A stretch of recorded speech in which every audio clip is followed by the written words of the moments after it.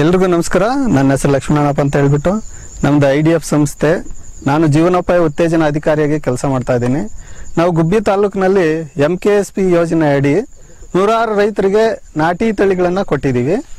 ಈ ನಾಟಿ ತಳಿಗಳಲ್ಲಿ ನೀವು ನೋಡ್ತಾ ಇರ್ತಕ್ಕಂಥದ್ದು ರಾಗಿನೂ ಒಂದು ನಾಟಿ ತಳಿನೇ. ಈ ನಾಟಿ ತಳಿಗಳ ವಿಶೇಷ ಏನಂದ್ರೆ ಬೇರುಗಳು ಆಳವಾಗಿ ಹೋಗ್ತವೆ. ಬೇರೆ ಆಳವಾಗಿ ಹೋಗೋದ್ರಿಂದ ಒಂದು ಹದ ಮಳೆ ಕಡಿಮೆ ಆದರೂ ತಟ್ಕೊಳ್ತೈತೆ. ಎತ್ತರಕ್ಕೆ ಬೆಳಿತವೆ. ಎತ್ತರಕ್ಕೆ ಬೆಳೆಯೋದ್ರಿಂದ ದನಗಳಿಗೆ ಹುಲ್ಲು ಆಗುತ್ತೆ, ಮತ್ತೆ ಇಳುವರಿನೂ ಜಾಸ್ತಿ ಬರ್ತೈತೆ.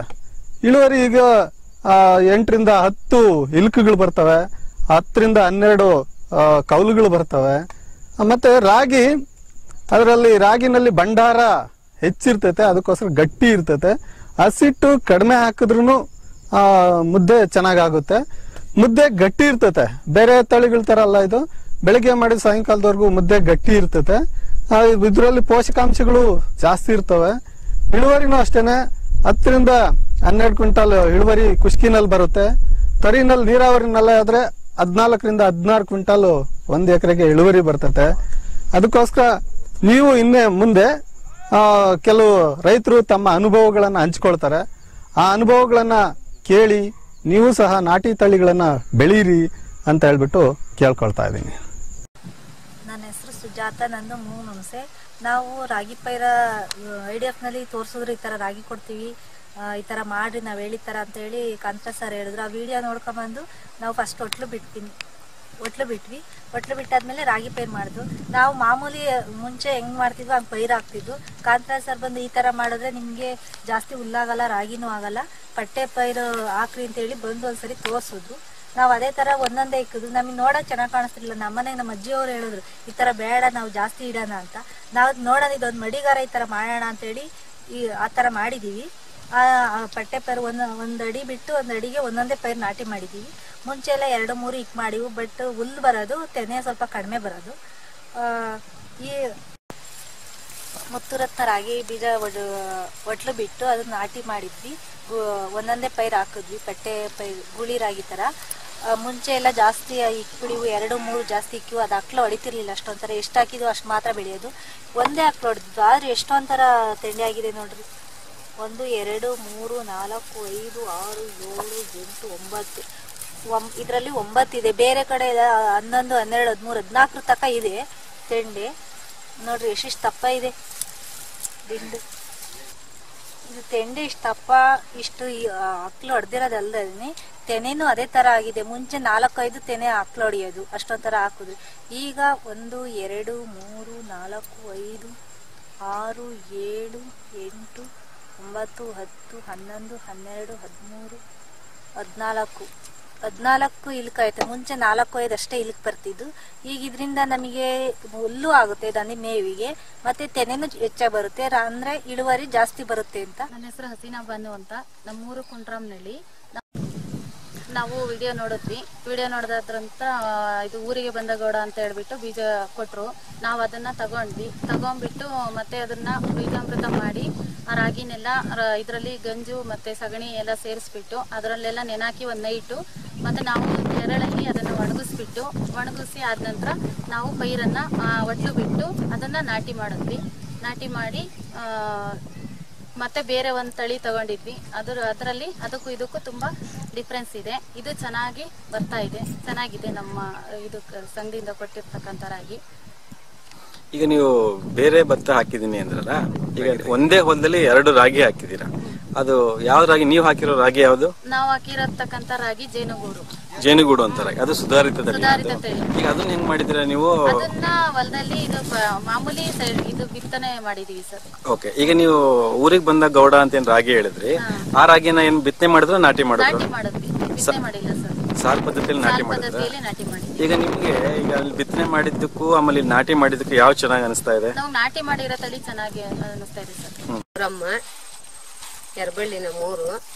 ಊರಿಗೆ ಬಂದ ಗೌಡ ರಾಗಿ ಅದನ್ನ ನಾಟಿ ಮಾಡಿದ್ವಿ ಗಂಜಲ್ಲಿ ಸಗಣಿಯಲ್ಲಿ ಎಲ್ಲ ಮಾಡಿ ಪೈರು ಹಾಕಿದ್ವಿ. ಚೆನ್ನಾಗಿ ಬಂದೈತಿ ಬೆಳೆ ಅದು. ಮುಂದೆಲ್ಲ ಸಾಲ್ ರಾಗಿ ಮಾಡ್ತಿದ್ವಿ ಹಿಂದೆಲ್ಲ. ಎಷ್ಟು ಚೆನ್ನಾಗಿ ಬಂದಿರಲಿಲ್ಲ. ಇವಾಗ ಸಾಲ್ ರಾಗಿ ಮಾಡಿಲ್ಲ ನಾಟಿ ಮಾಡಿದ್ವಿ ಪೈರ ಭಾಳ ಚೆನ್ನಾಗಿ ಬಂದೈತಿ. ಅದಕ್ಕೆ ಇದೇ ಬೆಳೆ ಮಾಡ್ಕೊಂಡು ಹಿಂಗೆ ಹೋಗ್ಬೇಕು ಅಂತ ಹೇಳ್ತಾ ಇದ್ವಿ ಈಗ ನಿಮ್ಗೆ ಈ ಊರಿಗೆ ಬಂದ ಗೌಡ ರಾಗಿ ಹಾಕ್ಬೇಕು ಅಂತ ಯಾರು ಹೇಳಿದ್ರು? ಐ ಡಿ ಎಫ್ ಸಂಘದವರು ಈಗ ಇದು ನೀವು ಊರಿಗೆ ಬಂದ ಗೌಡ ರಾಗಿ ಹೇಳಿದ್ರಲ್ಲ ಎಷ್ಟು ಎಕರೆಲಿ ಹಾಕಿದೀರಾ ಒಂದ್ ಮುಕ್ಕಾಲು ಎಕರೆಯಲ್ಲಿ ಹಾಕಿದ್ದೀವಿ.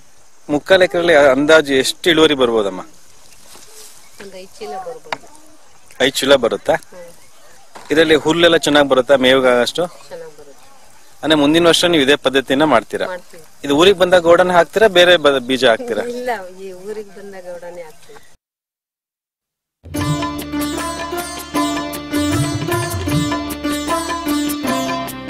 ಅಡಗೂರು ಗ್ರಾಮದ ಗೌರಮ್ಮ ಎಂಬವರ ಜಮೀನಿನಲ್ಲಿ ನಾಟಿ ತಳಿ ರಾಗಿ ಆದಂತ ಊರಿಗೆ ಬಂದ ಗೌಡ ಎಂಬ ರಾಗಿಯನ್ನ ಸಾಲ್ ರಾಗಿ ನಾಟಿ ಮಾಡಿದ್ದಾರೆ.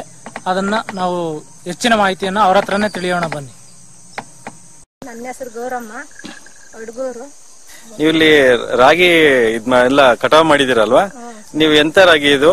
ಊರಿಗೆ ಬಂದ ಗೌಡ ಅಂತ ಇದು ಹೆಂಗೆ ನಾಟಿ ಮಾಡಿದ್ರಿ? ಇದು ನಾಟಿ ಮಾಡಿದ್ರ ಬಿತ್ತನೆ ಮಾಡಿದ್ರ ಏನ್ ಮಾಡಿದ್ರಿ? ಬಿತ್ತನೆ ಮಾಡಿಲ್ಲ ಬೇರೆ ಹಾಕಿದ್ರಿ.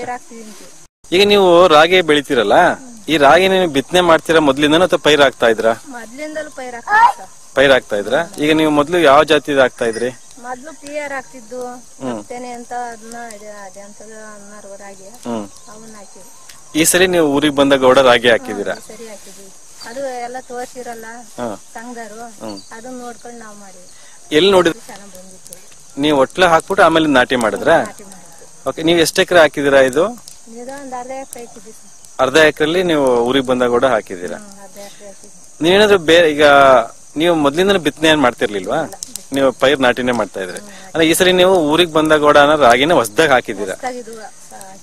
ನಿಮ್ಗೆ ಏನ್ ಅನ್ಸ್ತು? ಈಗ ನೀವೆಲ್ಲ ಕಟಾವ್ ಆಗಿದೆಲ್ಲ ಇದ್ರ ಬಗ್ಗೆ ಏನ್ ಅನ್ಸ್ತು ಊರಿಗೆ ಬಂದಾಗ ಕೂಡ ಬಗ್ಗೆ? ತಿರ್ಗಾ ಮತ್ತೆ ಹಾಕ್ಬೇಕು ಅಂತ ಉತ್ತೇಜನ ಆಗ್ತೈತಿ ಸರ್. ಯಾಕೆ?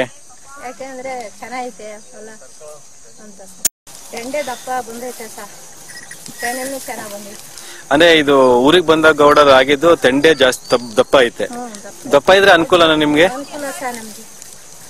ಈಗ ರಾಗಿ ತೆನೆನೂ ಚೆನ್ನಾಗಿ ಬಂದಿದ್ಯಾ? ತೆನೆನೂ ಚೆನ್ನಾಗ್ ಬಂದೈತೆ ಈಗ ನಿಮ್ಗೆ ಈ ಅರ್ಧ ಎಕರೆಯಲ್ಲಿ ಎಷ್ಟು ಇಳುವರಿ ಬರ್ಬೋದು? ಸುಮಾರು ಇದ್ರಲ್ಲಿ ಒಂದು ಐದು ಚೀಲ ಬೀಳ್ಬೋದು ಸರ್. ಈಗ ತಾವು ನೋಡ್ತಾ ಇರ್ತಕ್ಕಂಥ ರಾಗಿ ಹೊಲ ಗುಬ್ಬಿ ತಾಲೂಕು ದೊಡ್ಡ ಕಟ್ಟಿಗೆನಹಳ್ಳಿ ಗ್ರಾಮದ ಚಂದ್ರವ್ವ ಅವರದು ಚಂದ್ರಮ್ಮ ಅವರು ತಮ್ಮ ಈ ಒಂದು ರಾಗಿ ಬೇಸಾಯವನ್ನ ಮಹಿಳಾ ಕಿಸಾನ್ ಸಶಕ್ತೀಕರಣ ಪರಿಯೋಜನೆಯಡಿ ವಿಡಿಯೋವನ್ನು ನೋಡಿ ಅವರು ಶ್ರೀ ಪದ್ಧತಿಯಲ್ಲಿ ಅಂದ್ರೆ ಸುಸ್ಥಿರ ಪದ್ಧತಿಯಲ್ಲಿ ನಾಟಿ ಮಾಡಿದ್ದಾರೆ. ಬನ್ನಿ. ಚಂದ್ರಮ್ಮ ಅವರೇ ನೀವು ಇಲ್ಲಿ ರಾಗಿ ಹೊಲ್ದೆ ನೀವು ರಾಗಿ ಆಗ್ಲೇ ಯಾವ ಪದ್ಧತಿಯಲ್ಲಿ ಬೆಳೆದಿದ್ದೀರಾ ಇದನ್ನ? ನಾವು ನಾಟಿ ಮಾಡಿದ್ವಿ ಸರ್. ಯಾವ ರಾಗಿ ಇದು? ಇದು ಊರಿಗೆ ಬಂದ ಗೌಡ. ಓಕೆ ಈಗ ನೀವು ನಾ- ಮೊದ್ಲೇ ಹೆಂಗ್ ರಾಗಿ ಬೆಳಿತಾ ಇದ್ರಿ ನೀವು? ಮೊದ್ಲು ಸುಮ್ನೆ ಎರ್ಚಿ ಅಲ್ವೆ ಹೊಡ್ಕೊಂಡು ಹೋಗ್ಬಿಡುವು. ಹ್ಮ್. ಇವಾಗ ಇದ್ ಬಂದ್ಮೇಲೆ ನಾಟಿ ಮಾಡಿದ್ವಿ. ನೀವೀಗ ದೊಡ್ಡ ಈ ಊರಿಗೆ ಬಂದ ಗೌಡ ರಾಗಿನ ನಾಟಿ ಮಾಡ್ಬೇಕು ಅಂತ ಹೆಂಗ್ ತಿಳ್ಕೊಂಡ್ರಿ? ನಾಟಿ ನಮ್ಗೆ ಸಾರ್ ಎಲ್ಲ ತೋರಿಸಿದ್ರು. ಹೆಂಗ್ ತೋರಿಸಿದ್ರು ಯಾವ್ದ್ರಲ್ಲಿ? ವಿಡಿಯೋಲ್ ತೋರಿಸಿದ್ರು ಸರ್. ನೀವು ವಿಡಿಯೋ ನೋಡಿದ್ರಾ? ನೀವು ವಿಡಿಯೋ ನೋಡಕ್ಕಿಂತ ಮೊದಲು ನಿಮ್ಗೆ ಇದ್ರ ಬಗ್ಗೆ ಮಾಹಿತಿ ಇರ್ಲಿಲ್ವಾ? ಇಲ್ಲ ಇರ್ಲಿಲ್ಲ. ಮಾಹಿತಿ ಇರಲಿಲ್ಲ. ಅಂದ್ರೆ ನೀವು ವಿಡಿಯೋ ನೋಡ್ಕೊಂಡು ಈ ರಾಗಿನ ಮಾಡಿದೀರಾ? ಈಗ ನಿಮ್ಗೆ ಈಗ ರಾಗಿ ಎಲ್ಲ ಬಂದಿದೆ ಅಲ್ವಾ? ನಿಮ್ಗೆ ಇದ್ರ ಬಗ್ಗೆ ಏನ್ ಅನ್ಸುತ್ತೆ? ಇದ್ರ ಬಗ್ಗೆ ಏನು ಅನ್ಸುತ್ತೆ? ತೆನೆ ದಪ್ಪಗೈತೆ ಇಳುವರಿ ಬರುತ್ತೆ. ಕೆಂಪು ಗೌರಾಗಿ ಅಂತ ನಾವು ನಾಟಿ ಮಾಡಿದ್ವಿ. ಇದು ಹುಲ್ಲೆಲ್ಲ ಚೆನ್ನಾಗಿ ಬರುತ್ತೆ ಅನ್ಸುತ್ತಾ? ಹುಲ್ಲೆಲ್ಲ ಚೆನ್ನಾಗಿ ಬರುತ್ತೆ. ಚಂದ್ರಮವ್ರೆ ನೀವು ಇದನ್ನ ಒಟ್ಟು ಎಷ್ಟು ಎಕರೆ ಹಾಕಿದೀರಾ ಈ ತರ ನೀವು ರಾಗಿನ? ಒಂದ್ ಎಕರೆ ಇರ್ಬೋದು ನಿಮ್ಗೆ ಒಟ್ಟು ಜಮೀನು ಇರೋದು ಎಷ್ಟು?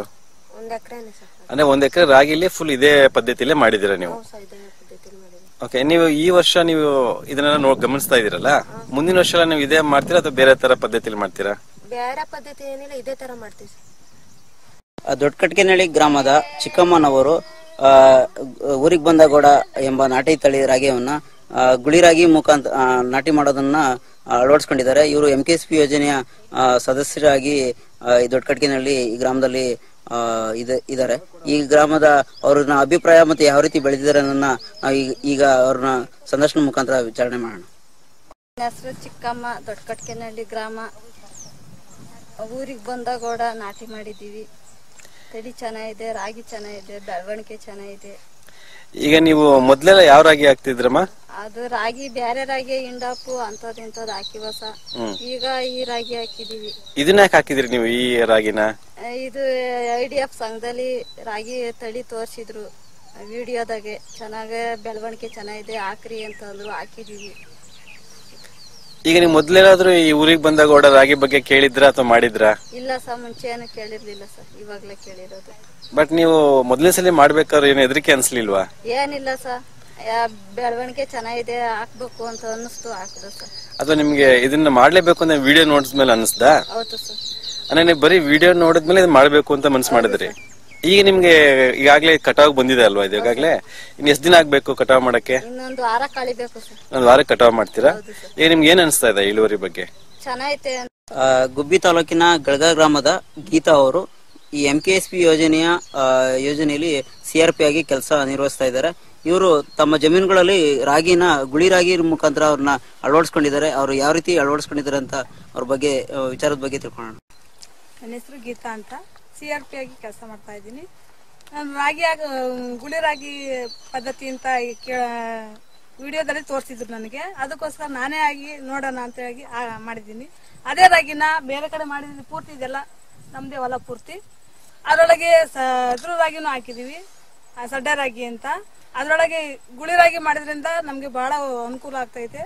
ಕಳೆನೂ ಜಾಸ್ತಿ ಬರೋಲ್ಲ, ಇಳುವರಿನೂ ಜಾಸ್ತಿ ಬರ್ತೈತೆ ಮತ್ತೆ ಈಗ ನೀವು ಇಲ್ಲಿ ಹಾಕಿರೋದು ಈಗ ನೀವು ಗುಳಿ ರಾಗಿ ಅಂತ ಅಂದ್ರಲ್ಲ ಗುಳಿ ರಾಗಿಲಿ ಇದು ಯಾವ ಜಾತಿ ಭತ್ತ ಹಾಕಿ ರಾಗಿ ಹಾಕಿರೋದು ನೀವು? ನಾವು ಊರಿಗೆ ಬಂದಗೋಡ ಅಂತ.